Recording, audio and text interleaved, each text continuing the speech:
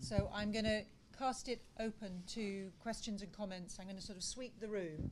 Um, if you could keep it short, I'd like to get as many people as possible and also give time for Helen to respond in some. Um, so can I say, and please do say who you are so Helen has an idea. I'll start this end and I'll sweep through. Uh, thank you very much indeed. My name's Steve Waygood. I work with Aviva Investors, one of the biggest uh, investment firms in the world. Um, we were very pleased to see in the outcome document from Rio reference to corporate sustainability reporting, particularly paragraphs 47, but also elsewhere. Um, what conversation have you heard so far around the role of corporate transparency and accountability?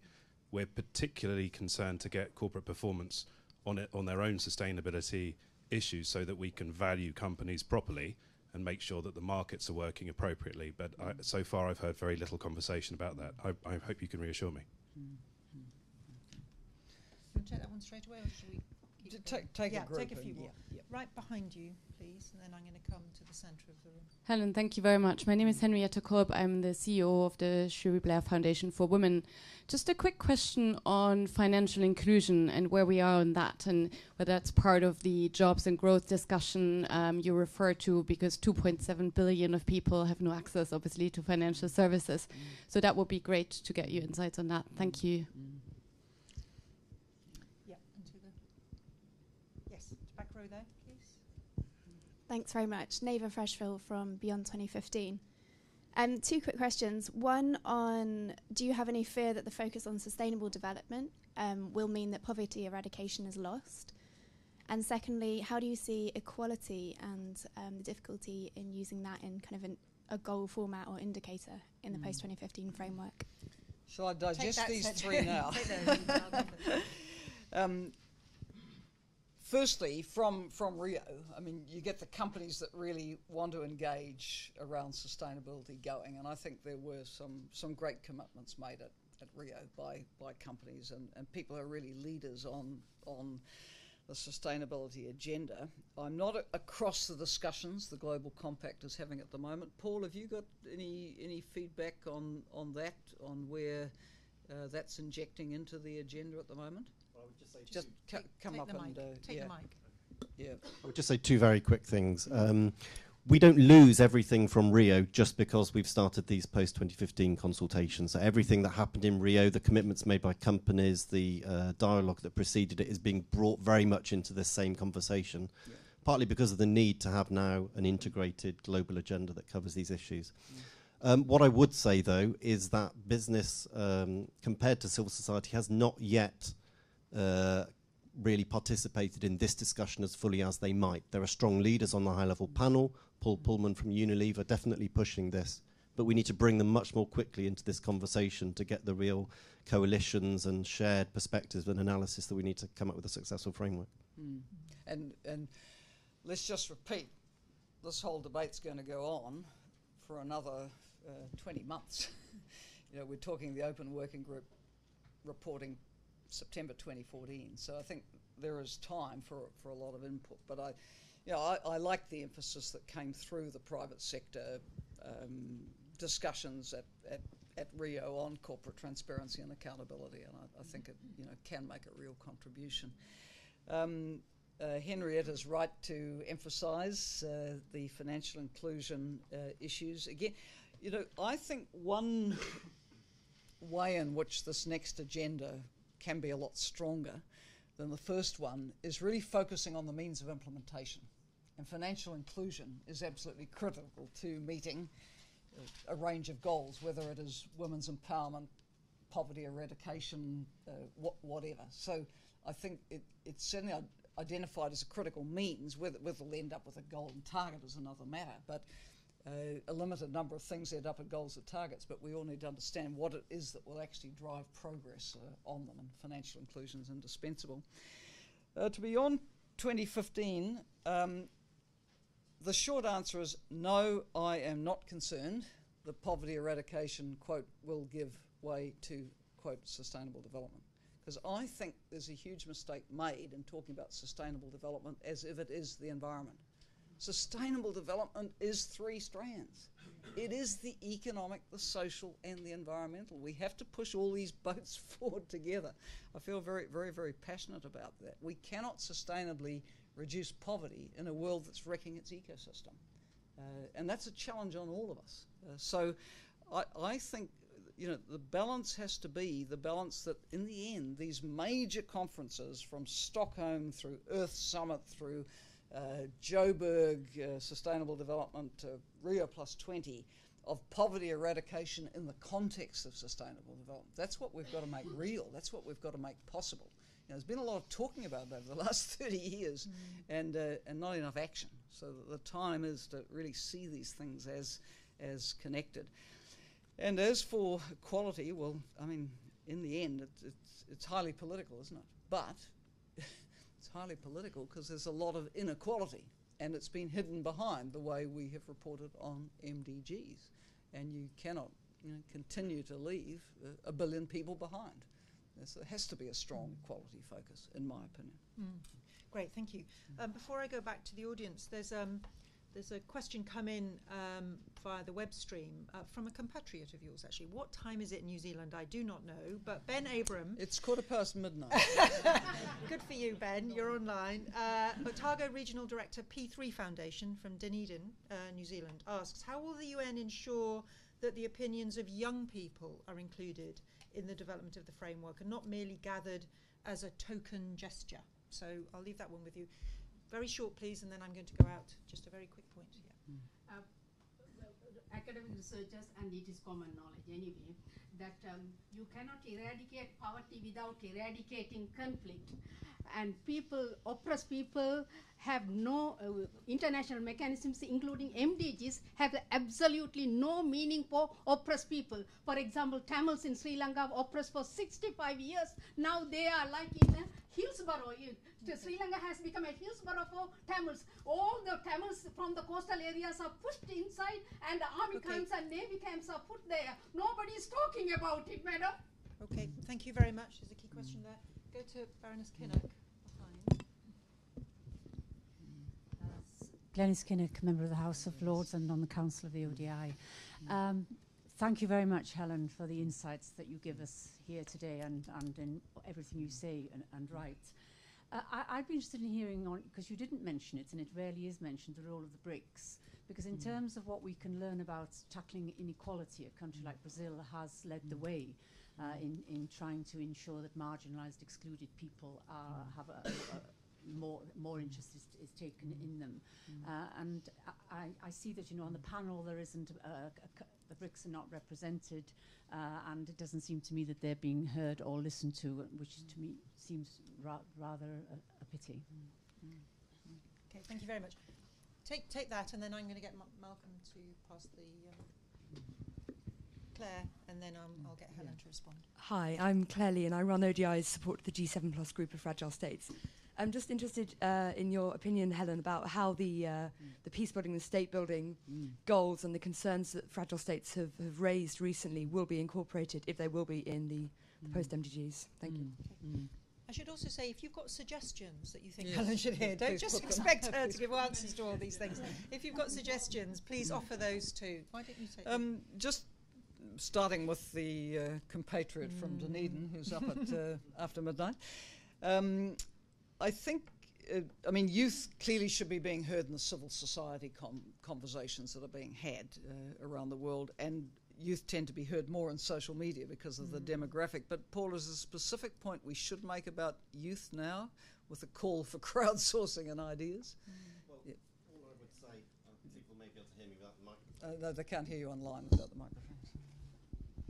Um, I think we should be quite clear that it's going to be governments agreeing this framework at the end. So questions about how will the UN ensure that uh, the views of young people are incorporated need to be directed very much at governments. And I think what uh, we as the system, working with partners, are trying to do is that those voices are collected and amplified and then, you know, presented to decision makers so that those views stand a greater chance of being incorporated.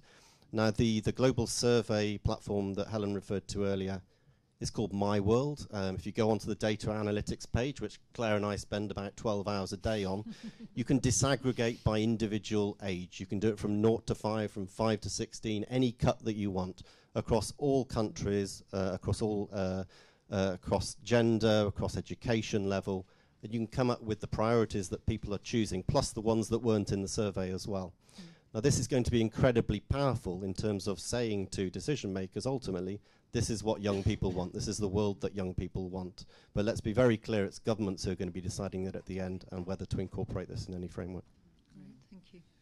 And, and having led a government, can I say it is very important that people make a noise? You know, it's always always comforting when you're taking positions to know there's a crowd behind. Uh, so often, I think you know policy is debated in such elite forums that voices don't come through. And I think Paul is right. In the end, member states are going to agree on what this agenda is. So voices need to be heard, young, old, male, female, from the whole you know rainbow of humanity, as as it, as it were. Um, can I perhaps take the uh, the issue pertaining to conflict together with Claire's point about the G7 plus countries. I popped up to Oxford last night to the Institute of uh, Ethics, War and Conflict, I think. Uh, are these uh, opposites? I don't know. um, uh, to speak precisely about uh, conflict and, and development and you know, touched on the G7 plus uh, state agenda and the importance of working with those states to provide avoid relapses into conflict, which puts a lot of emphasis then on the state building, uh, civil society, uh, civic life building, uh, livelihoods, inequalities, discrimination, marginalisation. I mean, I think a lot of the things that are so important to the recovery of a state that suffered from conflict are, are coming through in these thematic conversations. Uh, so I've, I feel reasonably confident that the concerns of this, this group of states affected by conflict will not be uh, overlooked uh, at all. Uh, on Glenys's uh, question, um, I think there are some very interesting uh, developments in the BRICS on the equality inequality issues, which um, are I guess, widely known about in development circles, but there's a, a, lot to share and learn across the global south. And if I, if I could take each of them, I mean, Brazil is known for the initiatives, particularly launched in Lula's period and carried on now in President Dilma's uh, period, uh, on the cash transfers uh, for poor families, uh, which has played a very important role in, in pulling people out of, out of uh, poverty. Uh, India has the amazing, in my opinion, uh, Mahatma Gandhi National Rural Employment Guarantee Scheme, which reaches 46 million households. Multiply by number per household, this is this is very significant. Now, not all the work maybe would meet the definition of decent work, but it is putting income in people's pockets, often for the first time ever. It has equity components. It relates to environmental integrity, water conservation, reforestation, and so on. Very interesting. And people may have seen uh, coming through on the news wires just in the last week or two in China uh, an announcement about uh, lifting minimum wages by 40%. China is very worried about inequality. One of the things they particularly asked UNDP to uh, support thinking on was how to tackle the growing inequality in their country. So, in these major emerging economies, there is action and there is a lot of debate on how to you know, stop the divisions running away and, and becoming very, very uh, polarizing. Okay, thank you very much.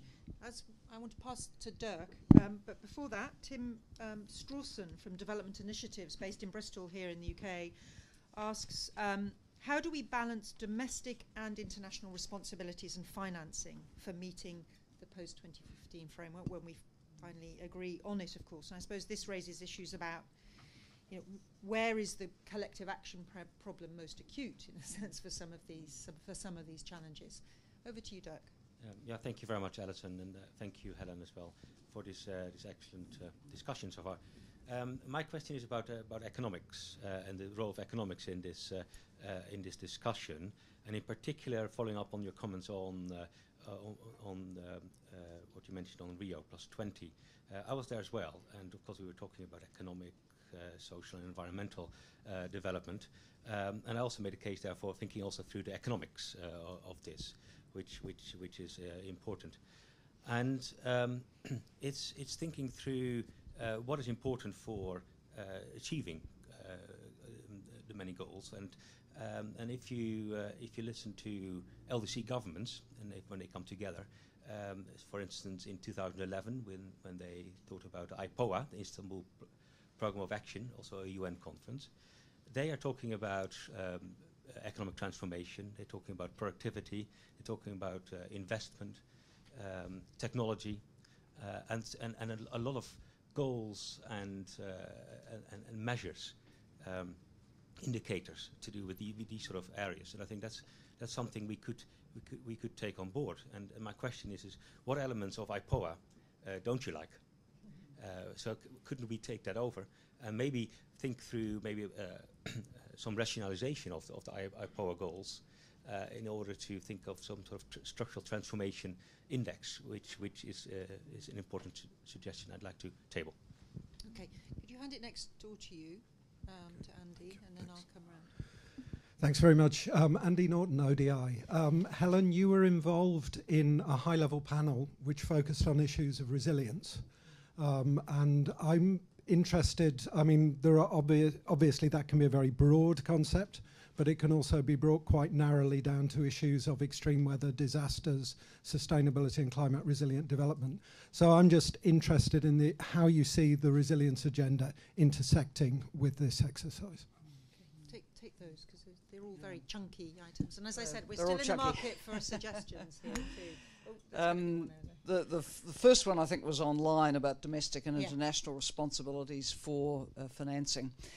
Well, I, I think the the Busan High Level Forum on Aid effectiveness was rather important mm. in, in this discussion uh, because you know the penny is well and truly dropped that you have to stop talking about aid effectiveness and talk about development effectiveness, recognizing that official development assistance is a tiny proportion of the resources that go into development. You know, development is also uh, uh, about investment, it's about trade, it's, it's about uh, migration and remittances, it's about many, many things, which brings you back into the policy uh, coherence uh, agenda as well. Uh, but in financing development, okay, Rwanda, which has a 40% hole in its budget at the moment because of the amount of donor support which was going in, is a not particularly typical example of a state with a very significant proportion of its budget coming from donors. For the, if we took the whole 177 uh, countries and territories that we operate in, most of them would have nothing like that. In fact, in many developing countries, the ODA that goes in would be infinitesimal. So it's, it's, it's not a factor. And you know, domestic resource mobilisation is what they do. They fund their development. And uh, I think you know, coming through from developing countries, what we're hearing is a very strong desire to go beyond aid uh, because they have generated the, the means to support uh, their own development, which is not to say there's not a place for aid. Aid can be, uh, if it's configured to be catalytic and support uh, developing the capacity to, to advance human development, can be very important. But inevitably, uh, the, the emphasis is shifting towards domestic resource mobilisation, being bankable, uh, attracting investment, etc. I think that's the, the way of the world. Um, Dirk's question on uh, the economics of it. Uh, yes, I, I, guess the Istanbul program of action of two years ago has a, a strong uh, emphasis on uh, getting the kind of economic transformation uh, which will take LDCs out of that category and into uh, into middle income emerging economy status, if you like. But I guess putting my UNDP and human development hat firmly on, I have to ask what is the purpose of all this? Isn't it greater human development and well being? And, uh, you know, isn't it important to keep looking beyond the tyranny of GDP as an indicator of progress? The Human Development Index was a significant innovation in that respect in weighting not only GDP per capita, uh, but also uh, indicators for education and health. I think the real challenge now is how we bring this environmental sustainability strand into uh, measurement of, of progress. And one of the innovations in the Human Development Index uh, since 2010 has to been to produce alongside it inequality adjusted index, gender inequality adjusted index, multi-dimensional poverty index. I think the challenge now is perhaps to get a sustainable development index where you'd also put in a weighting uh, on sustainability. So anyway, there's a lot of debate about this post Rio. It's been thrown over to the UN Statistical Commission. Uh, our own Human Development Report Office is, is looking at it. Uh, but I think you know we, we, we have to come back to what what what is the point of growth? it, it has to be in the end uh, human well-being. Growth is a is a means. Uh, it's it's it's not, in my opinion, an end end in itself. Um, on the resilience uh, question, I, am in the camp which takes a broad view. I, I did a, um, a, lecture on this last year when I went to Cambridge for a day or two, and I took the, the view that you know resilience is not just about resilience to national to natural hazard. Uh, it's also about the resilience in your economy to shock, the resilience in your society to shock, and uh, how do you build that, that, that broader resi resilience? There is a tendency, I think, to reduce it to a, a natural hazard uh, prevention. But one of the lines I took in the lecture last night at Oxford was to say if we take a resilience approach to prevention and mitigation of conflict, you know, that, that leads you in a certain uh, direction for tackling the drivers of conflict. So I'm in the broad school. Mm. Great, thank you. Um, I was going to say there's a gentleman in the front, now there are three. Um, the gentleman in the blue tie I saw first, so, um, and then there's a lady at the back there, and then I'm going to sweep round this side. Thank you very much. Mark Kennedy, World Society for the Protection of Animals. In the context of livelihoods and sustainability, the main productive asset of a billion of the poorest people is their animals. Enhancing the animals' welfare can improve their productivity and therefore enhance the assets of the people. So the question I would like to ask is, Helen, what do you see the role of animal welfare organisations being in human development? Okay, great. On the back row there, the lady with the scarf, that's it. Thanks. Thank you, Tricia Rogers. Um, thank you very much for your um, inspiring analysis and vision. I'm particularly excited by your um, uh, emphasis on disaggregating the figures and, and making sure that the most vulnerable don't get excluded because they may not be very large in numerical terms. And we all know the unintended consequences that goals can have. And, you know, in our own country here, teachers will focus on the ones likely to get D at GCSE because it's better to push them over the border. It's easier to push them over a borderline than to go for the ones with E and F. So we really do need, we were asked for some um, suggestions, and we really do need to make sure that the measurements in the goal include measurements not just of a borderline and pushing people across a borderline, because then there's bound to be just a focus on the ones just below the borderline, but measurements of how one is increasing, maybe proportionally or some way, so that the people who are living in really, really extreme poverty won't ever reach the borderline, but may get a lot of improvement, and we can try and encourage to have work spent on them and energy spent on them, the hard to reach, the really vulnerable, who so often get missed out. So I'm really excited that you know you're of course you're aware of it, but that you're going to try and bring it into the goals. Great, great. Can you pass it quickly? Um, Penny Lawrence is back there. She's had her hand up for a long time. I missed you there. I'm sorry, I'm not going to get to everyone. You can see I'm running out of time, and then I'm going to scoot this way. You can hate me rather than Helen for that. Uh, Penny Lawrence from Oxfam and Chair of ICFA. Thanks very much, Helen. And I think, uh, you know, huge support for the focus on inequality and the whole way of integrating resource scarcity and how it affects people. Fantastic. And we've got the beginnings of conversation around this resilience question that if the high level panel have come up with this as a sort of, you know, what top one of, of two things to focus on.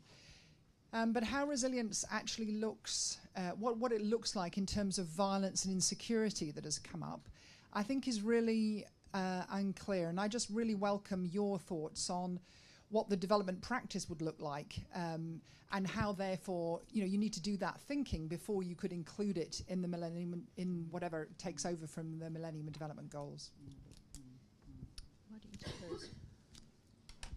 yeah um, on the the first issue around animal welfare and uh, I, I haven't actually seen this come up at all. So I mean, it's important that you raise it because, uh, you know, thinking of what was flashing through my mind was uh, images of perhaps, uh, you know, visits to the Amboseli uh, Basin and the impact of uh, the erratic climate there now on the Maasai herders and the, the change in livelihood patterns because you, you can't sustain the, the animal stocks that were there. And then the competition also between the, the, the animals of the pastoralists and, and the wildlife. I mean, you know, huge competition between uh, for the basic sustenance. So I, I think you know, it, it is worth contemplating how these issues then play out on on on human welfare and how we uh, keep an emphasis on biodiversity and ecosystems consistent with